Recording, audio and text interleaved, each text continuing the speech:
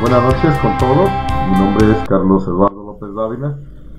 Soy el presidente ejecutivo de, ANISA Colombia, eh, responsable de la plataforma de la Academia ANISA, que es la continuación del proyecto de educación para la paz. Eh, como ustedes conocen, en esta plataforma ya se han desarrollado varios cursos dictados hasta el momento por Juanita Hernández sobre liderazgo, sobre, sobre otros temas también. Eh, como conocemos todos, también está anunciada la, el lanzamiento, el desarrollo de un nuevo curso para fines del mes de octubre, eh, que se denomina el Juego Cooperativo para la Acción Social y la Participación Discursiva. Por lo tanto, eh, esta noche he llamado a Peter Newton Evans para que nos comparta un poco más sobre los objetivos, sobre la intención, sobre a quiénes está dirigido el curso. Buenas noches, Peter. Bienvenido. Buenas noches, Carlos. Gracias por la entrevista. Entonces, quisiera que nos contaras un poco qué te inspiraste, cuáles son las ideas principales para desarrollar este curso. Bueno, realmente me interesa en el tema de la cooperación versus la competición.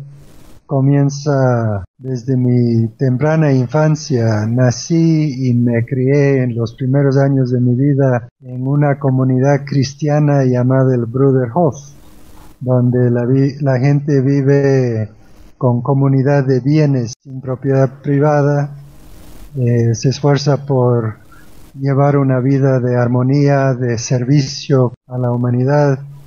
Y cuando ya de edad escolar salí de la, del Brotherhof con mi familia, me encontré con un mundo de mucha competición, mucho conflicto, y ya a esa edad me comencé a preguntar cómo es posible que una cultura sea tan diferente a otra y qué mueve a la gente a comportarse de maneras tan diferentes. Ya de joven participando en eh, acciones de, gestión social, eh, me encontré también con muchas personas que creían que el tipo de mundo que se proponía, un mundo de mayor equidad, de mayor justicia, no era posible. Y con mis antecedentes no entendía muy bien por qué sería eso. Hasta que en 1985, con ocasión del Año Internacional de la Paz, la Casa Universal de Justicia básicamente dijo que uno de los mayores obstáculos para la construcción del mundo que todos quisiéramos ver es esta creencia de que el ser humano es inherentemente egoísta, agresivo, violento, competitivo, conflictivo, por naturaleza. Y que mientras primen esas creencias, ese mito, muchas personas que podrían participar en el trabajo por la reconstrucción de la sociedad no lo harán porque no lo creen posible. Ah, claro, es una experiencia vital y enfrentarse a todos estos estas contradicciones. ¿Y, cómo fuiste superando esas contradicciones? Bueno, eh, por ejemplo, existe el mito de que la competición es el motor de la evolución, en base a la idea de la supervivencia del más fuerte, que se atribuye a Darwin.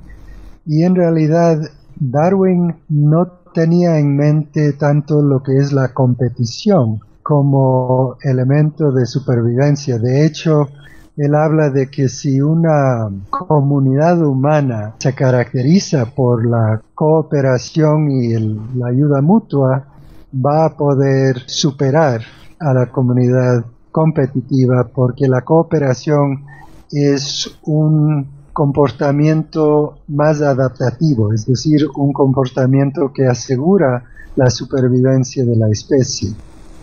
Eh, y vemos en todas las especies una gran capacidad de cooperar entre ellos.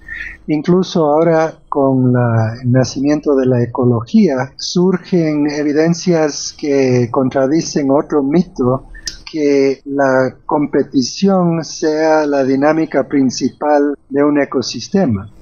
De hecho, se han identificado ocho o nueve relaciones ecosistémicas entre las especies. Y la competición aparece cuando el ecosistema ya está en grandes dificultades. Es decir, cuando ya está enfermo el ecosistema, se ve la competición, una situación donde solo una de las dos especies puede sobrevivir y en muchos casos de ambas especies que están en competición eh, desaparecen de ese ecosistema. Cada vez que desaparece una especie de un ecosistema, obviamente se empobrece el sistema, porque su riqueza es justamente la diversidad ecológica. ¿Y, esto cómo se aplica a la sociedad humana? Sí, justamente ese es el problema, porque al creer que la competición es como una especie de ley universal, a lo largo de los últimos dos siglos se ha ido construyendo las instituciones y organizaciones y estructuras de la sociedad como si la vida humana fuese una gran competición. Y el resultado es que todos nuestros sistemas, político, económico, las relaciones entre países, el sistema jurídico e incluso las relaciones entre diferentes sectas religiosas, se basa en una relación de tipo ganar-perder, que es peor que suma cero, es suma negativa, porque muy lejos de producir sinergias en la sociedad, que es un resultado mayor a la suma de sus partes individuales, produce lo que se conoce como antergias, que es lo opuesto de una sinergia, que el resultado es peor que el restar uno menos uno, que sería el, resto de las, partes. Correcto. Y, bueno, cuando hablas del juego cooperativo, que es como lo que le da el título al curso, ¿de qué manera este juego cooperativo termina contribuyendo pues a cambiar las relaciones, a, cambiar también la forma como, como, como entendemos el discurso en la sociedad. El juego cooperativo se ha encontrado como una estrategia de intervención sociocultural bastante poderosa. Los niños jóvenes, incluso grandes, hemos estado acostumbrados a que el juego, el deporte, siempre sea competitivo. Un equipo en contra de otro, un individuo en contra de otro en una relación de ganar-perder. Y esta forma de jugar como modalidad exclusiva de ganar-perder resulta en grabar en los chicos un modelo mental, aunque se mantengan los juegos competitivos, el mero hecho de practicar juegos cooperativos significa que los muchachos tengan otra forma de ver el mundo y otra alternativa de poder trabajar en equipo, de apreciar la diversidad de los miembros del equipo, de darse apoyo mutuo, de desarrollar su empatía, su preocupación por el bienestar de los demás. De esta manera, cuando crecen, van a tener esa forma de pensar como parte de su kit de herramientas para poder eh, enfrentar el mundo. Excelente. Eh, entiendo que todo esto de, de la cooperación tiene una relación directa con todas las áreas de la vida humana, tanto personal como social, cultural. ¿Puedes ampliar un poco sobre esto? Sí, justamente em, vemos en todos los ámbitos de la vida humana en este momento que la competición es la que está haciendo que decaigan nuestros sistemas. El sistema político como una pugna de poderes ya ha perdido la aceptación de los ciudadanos de los, diferentes países, lo cual significa una disminución en la gobernabilidad.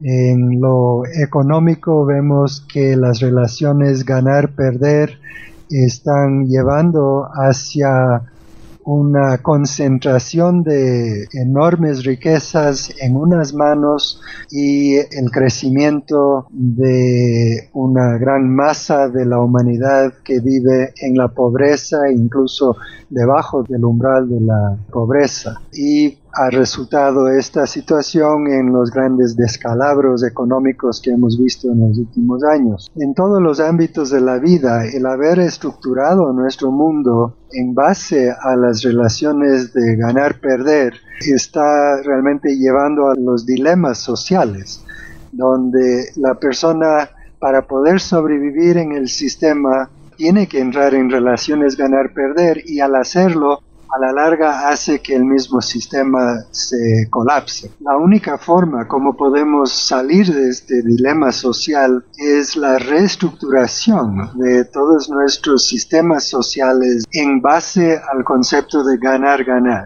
que es la definición de la cooperación. Es un trabajo que debemos participar todos y si podemos preparar a la juventud y a la niñez para que sean capaces de pensar casi automáticamente en términos de ganar-ganar, vamos a darles una mejor oportunidad de, participar en este proceso de reconstrucción de la sociedad. ¿Este curso a quiénes está dirigido, Peter? Eh, por un lado, eh, está dirigido a personas que ya trabajan con niños y prejóvenes, especialmente en los barrios. Hay muchas personas que están trabajando con clases de niños y grupos prejuveniles, incluso en las escuelas, en los colegios.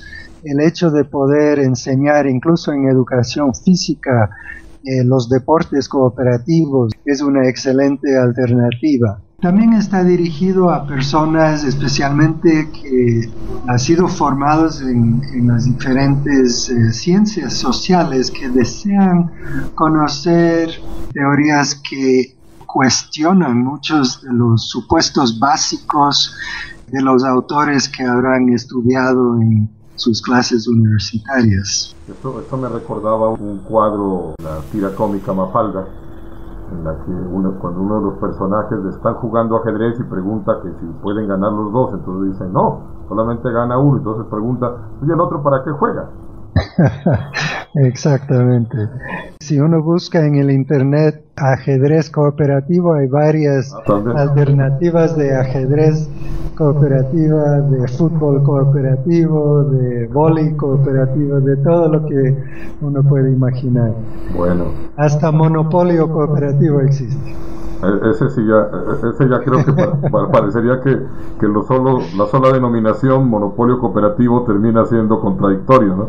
La, denominación. bueno, Peter, muchas gracias. Entonces, con esto extiendo una invitación a las personas para que se inscriban y puedan participar en este curso. Muy bien, y muchas gracias por haber llamado. Es siempre un gusto conversar contigo, Carlos. Es maravilloso lo que está haciendo la Academia ANISA por promover el cambio sociocultural. Gracias a ti, muy amable.